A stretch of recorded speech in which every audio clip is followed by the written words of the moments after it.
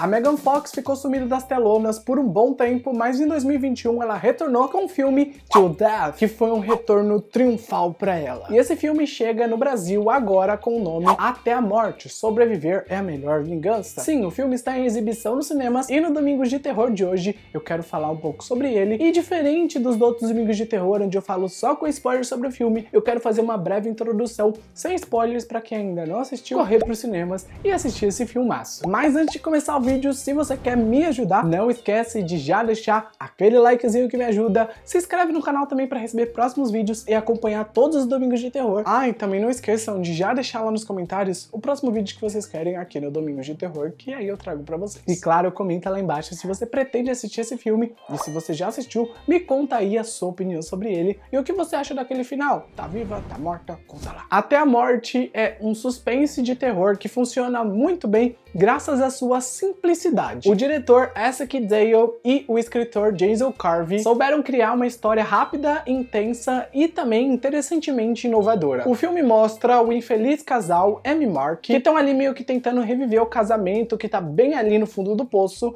O Mark então leva a Emma para uma casa isolada à beira de um lago, prepara ali uma noite romântica para os dois, porém na manhã seguinte o Mark levanta com uma arma, dá um tiro na própria cabeça, deixando a Emma ali em estado de choque. Ela fica coberta pelo sangue dele e aos poucos ela vai percebendo que tem uma situação horrível esperando por ela, já que ela acaba percebendo que tudo isso que ela tá vivendo é um plano sádico que o Mark fez para ela. Ela acaba ficando algemada ao cadáver dele em uma casa no meio do nada, em pleno inverno, sem roupa para se trocar, sem telefone para pedir ajuda e sem um carro que funcione. E quando ela pensa que essa tortura que ele criou para ela acabou, tem mais reviravoltas para acontecer. E tudo fazia parte de um plano desse marido moribundo dela. O filme coloca o nível de tensão e suspense lá nas alturas e tudo que acontece no caminho da Emma faz ela às vezes nem pensar direito. E toda essa tensão acaba criando às vezes situações incoerentes e impensáveis. Entretanto, isso também acaba criando fortes emoções a cada nova cena. Então, provavelmente em alguns momentos você vai gritar para personagem não fazer aquilo, ou vai gritar para ela ir pro outro lado, ou vai ficar ali angustiado com algumas cenas torturantes. Então, é aquele filme que sempre cria uma nova sensação para você que tá assistindo. E a Megan Fox consegue ser uma badass ótima, que faz ali as cenas se tornarem grandiosas. Principalmente porque o filme sabe te enganar e te entrega um jogo de gato e rato que não inova muito na fórmula, mas ele consegue não se levar tão a sério e ao mesmo tempo entregar uma performance dramática da Megan que compensa todas as horas assistidas. Então só para concluir aqui, é aquele filme gostosinho para você assistir sem pretensão no Dia dos Namorados. Hum, entendeu? Dia dos Namorados, marido doido que se mata. Você pode até falar ali pro seu parceiro: olha, nunca serei igual essa tal pessoa. é um grande presentão, hein? Dia dos namorados. Pra não ser um louco sádico que se mata e faz uma tortura psicológica com sua mulher. Mas é isso que eu tinha pra falar sem spoilers. O filme tá em exibição nos cinemas. Espero que vocês assistam e que vocês comentem lá embaixo o que vocês acharam do filme, se já assistiram ou se vão assistir. Coloca lá. Não esquece de deixar o like se vai sair do vídeo agora e se inscreve no canal para próximos vídeos de séries de filmes. Não esquece disso, hein? E agora vamos falar sobre o filme como spoilers. Então tá, a Emma tá infeliz com o casamento dela vive ali chifrando o Mark com o funcionário dele, que é o Tom. O Mark fica puto da vida com todo esse casamento, tá puto também com o trabalho, e ele propõe ali uma viagem para se reaproximar da Emma. Os dois então vão para um lugar isolado, passam uma noite romântica juntos, e na manhã seguinte a Emma acorda algemada no Mark e ele dá um tiro na própria cabeça. E ela agora tá presa no corpo dele, então ela tá ferrada. E ela tá seminua, num local frio e isolada. E aos poucos ela acaba notando que o Mark fez um joguinho sádico para ela sofrer muito antes de morrer. E eu sinto que esse filme é muito bem dividido, porque o primeiro ato é muito focado na Emma descobrir todo o joguinho que o marido armou para ela e também tentar ali se soltar dele, né, encontrar uma forma de fugir daquele local. Enquanto o segundo ato é focado na chegada do peguete da Emma, o Tom, que o Mark fez ir até aquele lugar lá, dando a falsa esperança para ela de que ela ia conseguir sair dali,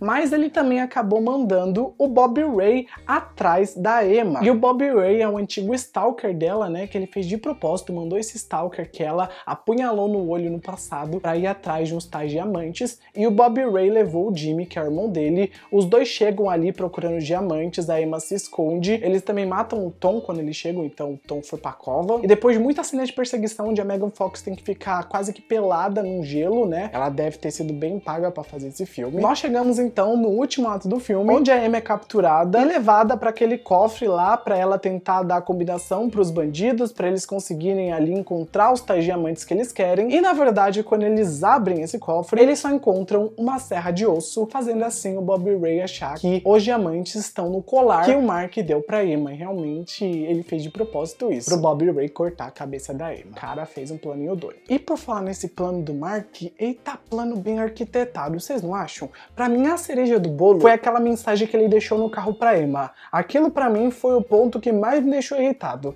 Ele falando sobre o caso dela com o Tom, falando que foi a gota d'água pra ele. O cinismo dele foi o cúmulo pra mim, não sei pra vocês. Ele também já não tinha muita coisa a perder, né? Porque a promotoria tava investigando ele, já tinham invadido o escritório dele, ele tava sendo acusado de várias coisas ali, de adulteração de provas. Então assim, ele tava cagando pra tudo, a vida dele já tava uma bosta, o casamento já tava uma bosta, o trabalho já tava uma bosta, ele ia ser preso, ele falou, foda-se, e jogou tudo nas costas da Emma. E quem se ferrou no final foi ela, né? Porque morrer nem ia se ferrar, na verdade ia se livrar. Porém a Emma, como uma mulher foda, falou, eu não vou me ferrar por causa de um incel igual você, Mark. E daí ela usou todas as forças que ela tinha pra ser mais rápida que o Bob, ela conseguiu se soltar do cadáver do Mark, prendeu ele no Bob Ray, ela tentou ali correr pro lago congelado para tentar se salvar dele, e ele também apareceu correndo atrás dela e segurando o cadáver do Mark, foi muito engraçado essa cena. Daí a gente teve aquela luta intensa em cima do gelo, e era óbvio que o gelo ia ceder, tava muito na cara que os dois iam cair na água gelada, e realmente aconteceu isso. Eu até falei, ha,